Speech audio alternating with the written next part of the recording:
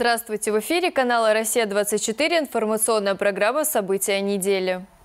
На этой неделе во Дворце культуры Черкеска торжественно открыли год семьи с участием десятков супружеских пар Карачаева-Черкесии. Таким образом, наша республика вслед за федеральным центром дала старт году семьи.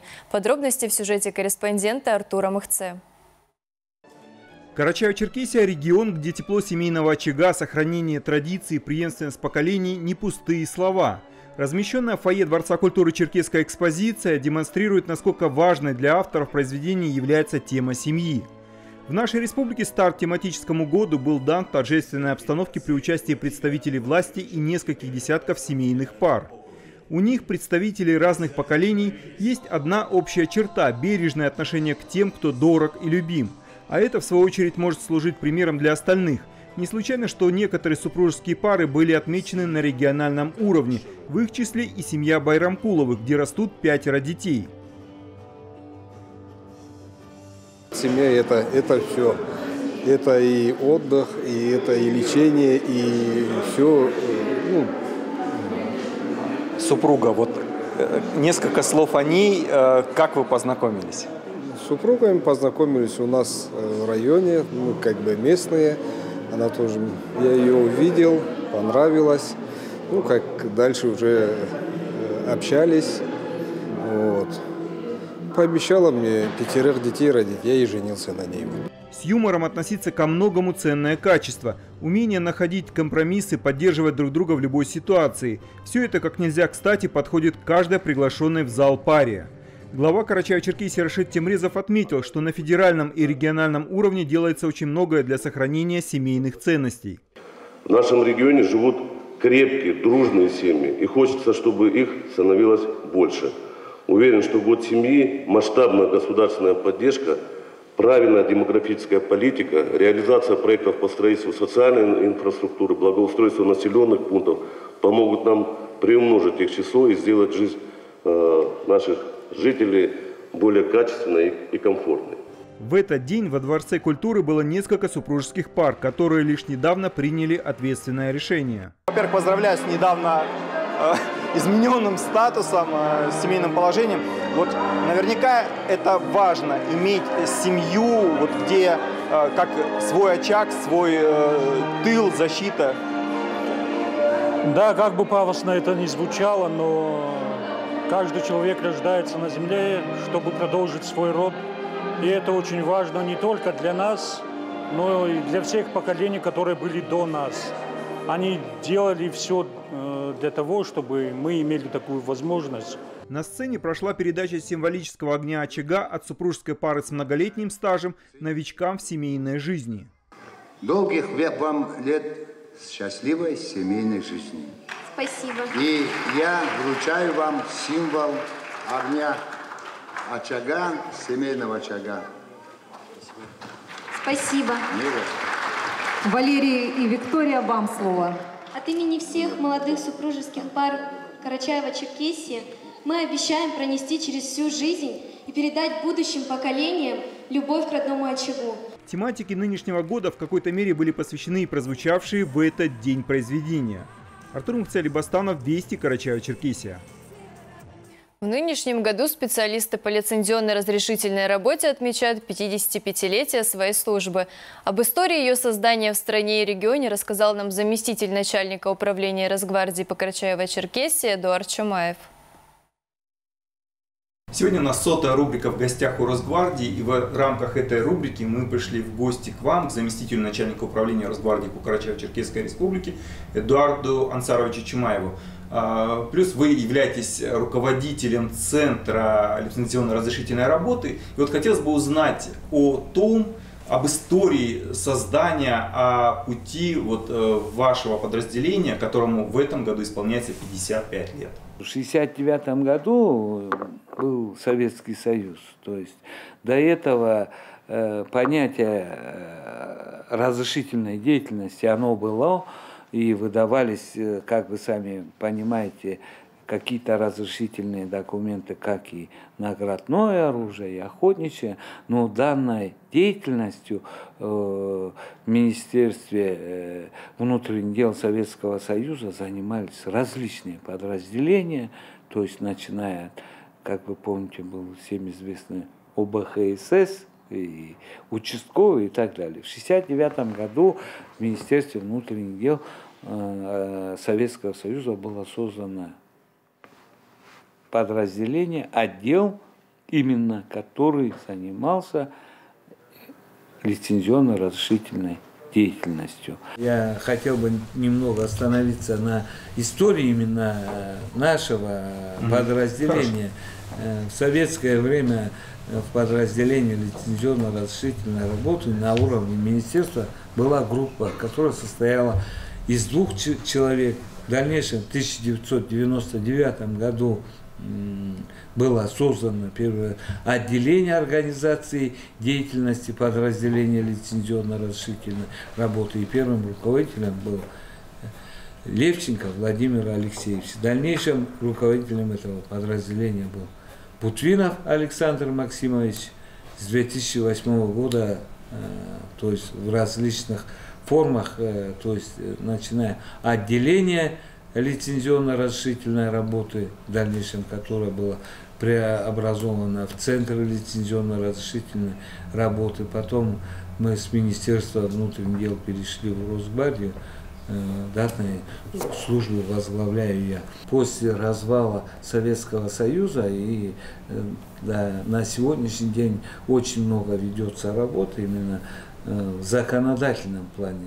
Естественно, раньше, чтобы вам было понятно, все регулировали приказы внутренних дел. Там приказ, грубо говоря, на 20 страницах определял все правила, понимаете, mm-hmm. оборота оружия. А на сегодняшний день вряд ли на 20 страницах можно даже название нормативно-правовых актов э, перечислить. Получить гражданин имеет тот, кто не имеет медицинских противопоказаний.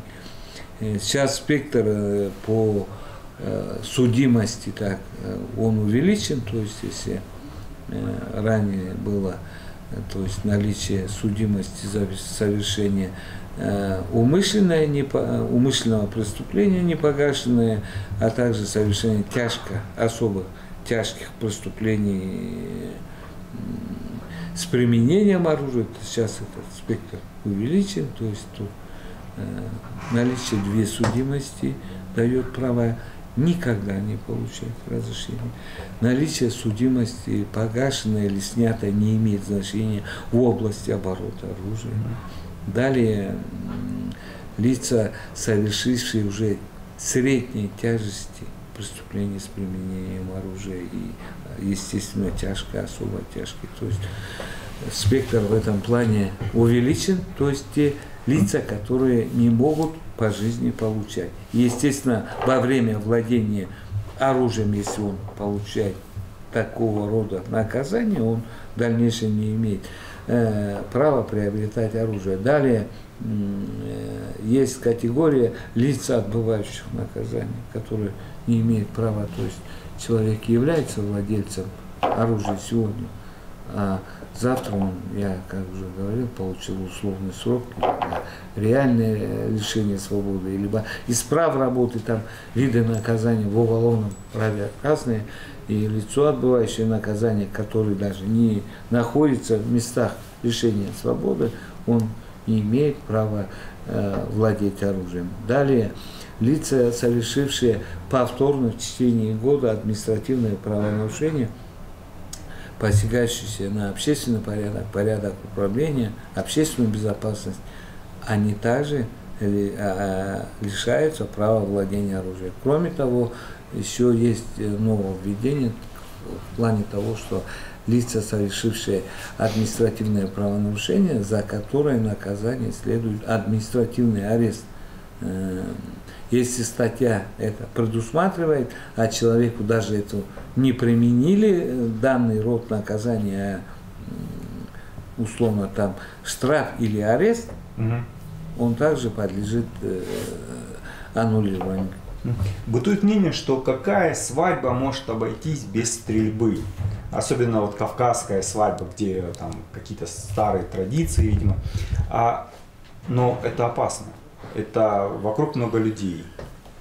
Я как уже говорил и э, однократно об этом, э, а, ну как, заострял внимание владельцев оружия.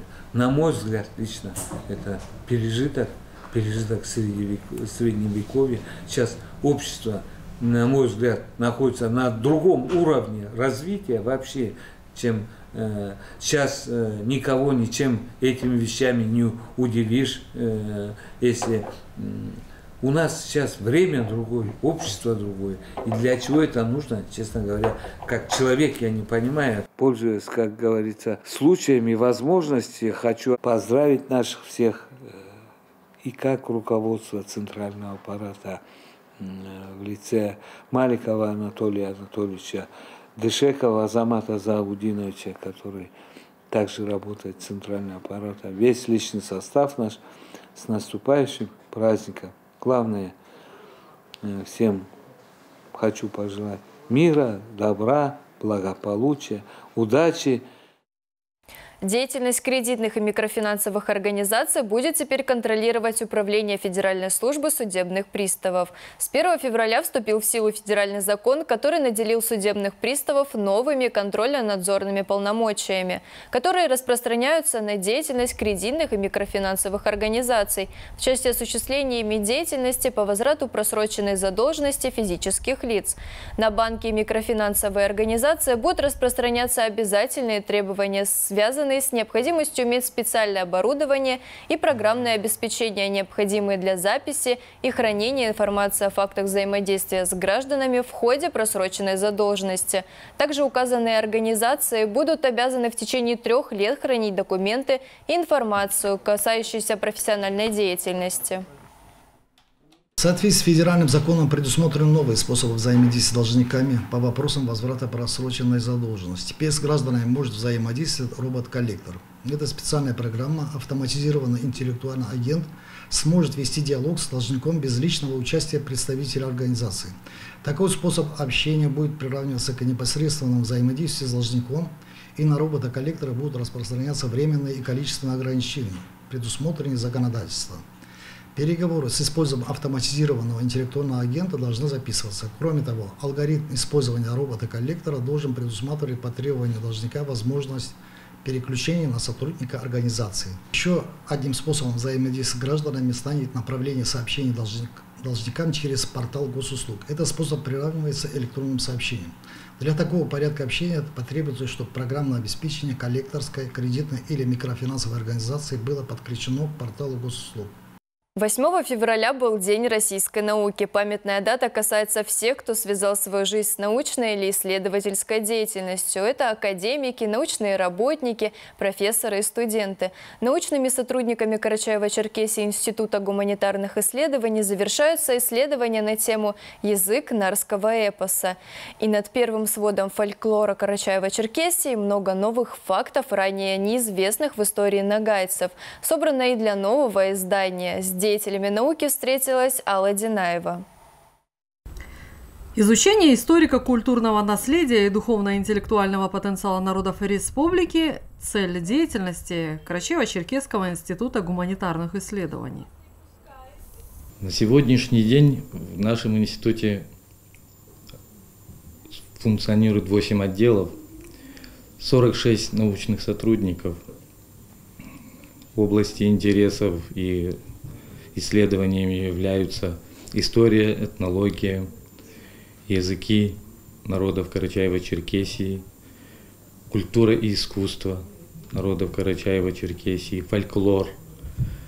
Я хотел бы обозначить еще одну позицию, что наши сотрудники пишут не только на русском языке, но и на языках народов Карачаева-Черкесии. Книга о старых изданиях на туркменском языке в реферативном журнале лучших монографических исследований Советского Союза кардинально изменила жизнь Аминат Курмансиитовой. Прочитав ее, она решила найти нагайские арабописьменные книги. Так и начался ее путь в науке, а сегодня за плечами кандидата исторических наук Аминат Хасановны немало научных работ – Сейчас ее исследования посвящены нагайцам Северного Кавказа в период Кавказской войны и истории нагайско-русских отношений до вхождения в состав России и в составе России. В настоящее время я работаю с архивом, а, главного, с главным архивом наместника Кавказа.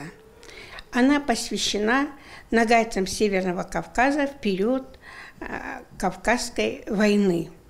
А, в ходе исследования я рассматриваю историю нагайско-русских отношений до вхождения в состав России, в составе России – рассматриваю положение социальное и политическое нагайцев Северного Кавказа в период Кавказской войны, введение институтов государственного управления Российской империи на территории проживания а, народов Карачаева-Черкесии, в данном случае нагайцев Северного Кавказа, институты приставств, обряды принесения присяги, наверное, подданства на России, многократные причем, и их нарушения – почему они происходили.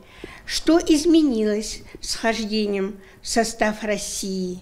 Что дало нам вхождение в состав России? И э, другие, и политические, и экономические взаимосвязи с Россией и с народами Северного Кавказа.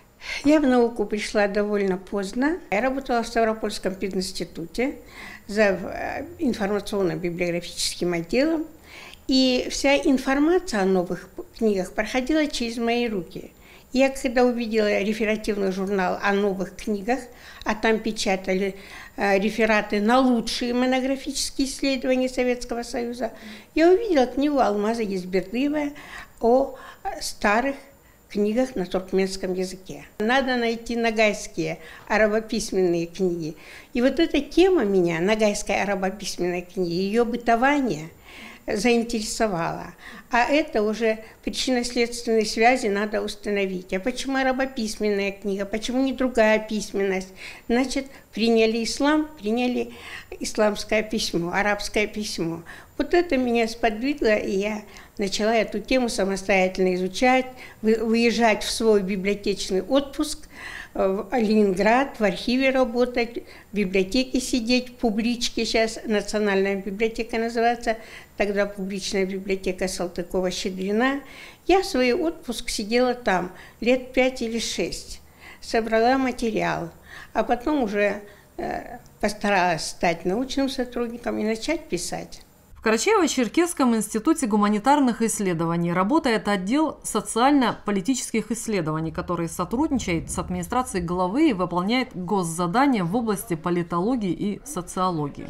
Думаю, что уровень развитости науки э, служит одним из основных таких показателей развития общества. А также это, наверное, показатель и современного развития государства, страны, республики – 35 лет исполняется в этом году, как Людмила Хужева работает в Институте гуманитарных исследований. Свой весомый вклад в сохранение национальных языков вносят пять научных сотрудников отдела кабардино-черкесского и абазинского языков. У нас в обществе, как мы знаем, происходит в общественно-политической, социальной, культурной жизни народов очень много изменений. Эти изменения отражаются именно на лексике национальных языков. Поэтому мы всегда берем свои темы для исследования именно что касается лексики, потому что в язык приходят новые слова с этими изменениями.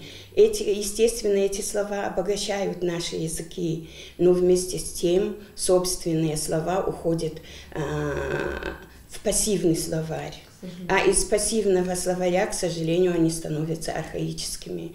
Для этого, чтобы это не происходило, мы э, э, свои исследования посвящаем. Вот, например, у меня есть э, лексика названия народных игр, функционально-семантическая характеристика бытовой лексики. Есть словари у нас двуязычные, топонимические, антропонимические, географические словари составляются, чтобы именно слова собственные не исчезли. Мы, как знаем, естественно, пока жив язык, жив и народ. Вот мы, например, а, вот до последнего убыха существовал а, убыхский язык. Вот он единственный остался носителем убыхского языка, но он умер и народ исчез. Чтобы этого не случилось, вся наша работа посвящается сохранению и развитию наших национальных языков. Еще одно важное направление в деятельности института – это отдел фольклора в Карачаево-Черкесии. Ольга Гудимова работает здесь со дня основания этого отдела с 1994 года. Я работала непосредственно с Артабаевой Римой Евгеньевной, она была э, заведующей нашим отделом первым. Работала с Икалиевым Ашимом Имамазимовичем. Это, это глыбы, это на самом деле глыбы, с которых начиналось э, изучение фольклора именно нашей Карачаево-Черкесии. Вы знаете, вообще фольклор это очень интересная наука, потому что фольклор это э, сопровождает всю жизнь человека, начиная с рождения и заканч... Э, с рождения это колыбельные песни и заканчивая э, э, смертью. Это похоронные причитания. Поэтому э, я считаю, что фольклор это основа традиционной культуры. Это основа традиционной культуры и основа языка. С чего начинается язык? Вообще, вот вербальная визуализация мира начинается прежде всего с фольклора. Поются колыбельные песни, определенные э, мелодии. И даже э, ученые считают, что э, начиная с мелодии, менталитет народа закладывается. Менталитет народа закладывается. Вот я помню просто свою, я помню свое детство с того, что бабушка мне рассказывает сказки. Коза дереза, репка, и семеро козлят. Это вот, вот это вот сказки, с которых начиналось, начиналось мое детство. Свое время у нас уже вышли такие книги, как «Пословицы и поговорки народов Карачаева-Черкесии», «Загадки народов республики», а сейчас у восьми научных сотрудников отдела очень большая и ответственная работа. Это первый свод фольклора Карачаева-Черкесии, куда войдут малые жанры каждого народа республики, рассказывает Ольга Гудимова. Заведующая отделом Карачаева-Балкарского и Ногайского языков института, доктор филологических наук Фатима Таркенова, сейчас научные исследования проводит на тему «Язык нардского эпоса». Исследовать сугубо оттуда и именно э, исконно карачаево-балкарский нардский эпос, языковой материал, устаревшие слова, амонимы, антропонимы. Это э, очень тяжелая тема. Я сейчас э, уже заканчиваю эту работу и получаю от богатства, вот оставшийся от древних наших предков язык, читая работу, э, книгу Нардского эпоса, получаю огромное наслаждение. Еще раз, э, наследие, фольклор, что нам э, предки оставили, э, богатый материал и фольклорный, и богатый язык. Это говорит о ментальном коде каждого народа. Мечта какая у вас у всех? У нас, научных сотрудников нашего института, и лично моя мечта, более пристальное отношение к трудам наших научных сотрудников и иметь свое отдельное здание, отдельные кабинеты. На сегодняшний день на Северном Кавказе единственный э, научно-исследовательский институт, который не имеет своего здания. Вот о чем мы мечтаем. Научная статья Фатима Эркенова сейчас выходит в печать в одной из газет Турции. И ее книгу «Карачаево-Балкарская зоонимия» переводят на турецкий язык. Заслуженный деятель науки Карачаева-Черкесии Фатимат Пахаратов, автор более 10 книг, а за издание «Орнитонимия» в карачаево-балкарском языке в 2023 году она награждена медалью Исламбея Крымшамхалова. Карачаево-Черкесском научно-исследовательском институте работали и занимались исследовательской деятельностью ученые, оставившие за собой фундаментальные исследования. Их имена известны не только в нашем регионе, а сегодня по их пути следуют нынешние молодые ученые. Коллегам, конечно, для научного сообщества, для наших сотрудников в их нелегком труде хотелось бы сказать, чтобы крепкого здоровья пожелать, творческих успехов, новых начинаний. Развитие этой сферы деятельности важно, ведь наука – это путь в будущее. Алла Динаева, Мухаммед Ашибоков, Вести, Карачева-Черкесия. За Россию. Под таким названием прошел концерт в селе Куржиново, который подготовили гости из Краснодарского края. Вторая средняя школа из Куржинова и четвертая из Лабинска являются побратимами и ездят друг к другу в гости, показывая свои достижения и проводя совместные акции. На концерте побывал Али Баташев.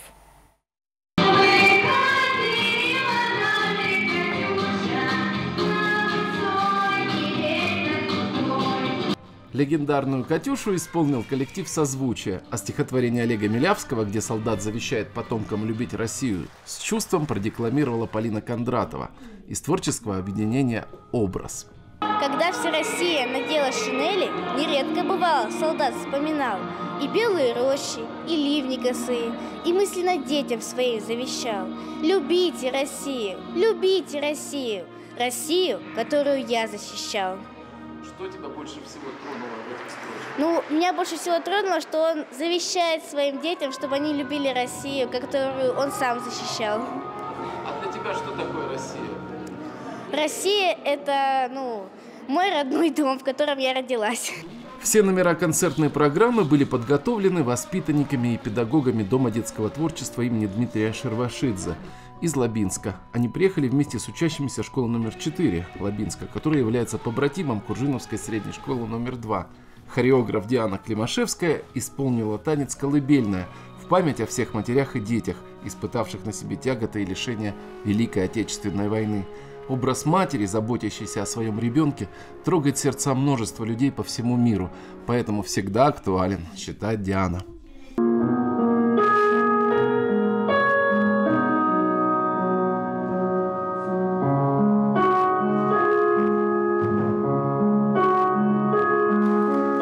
Такие танцы ценятся, и надо их всегда выставлять везде, я считаю. Потому что как бы это наша история, и без этого никуда, без таких танцев. Они каждого за душу берут. Юные артисты творческого объединения «Импульс» дружно танцевали под песню «Аист на крыше», а педагог Мария Карачкова очаровала зрителей русским национальным костюмом и песней «За Святую Русь помолюсь».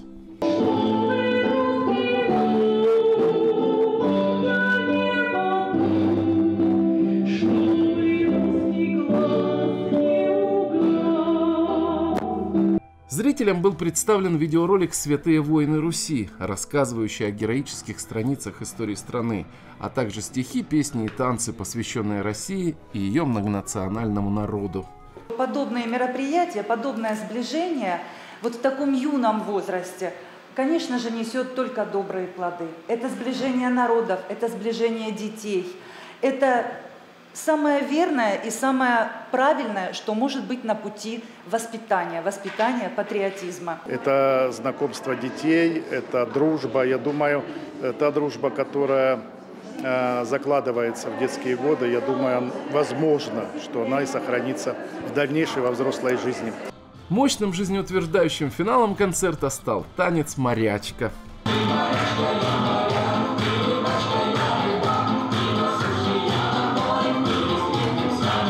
Али Баташев, Али Бастанов, Вести Карачаева-Черкесия, Урубский район. Такими событиями отмечена уходящая неделя. Всего вам доброго и до встречи.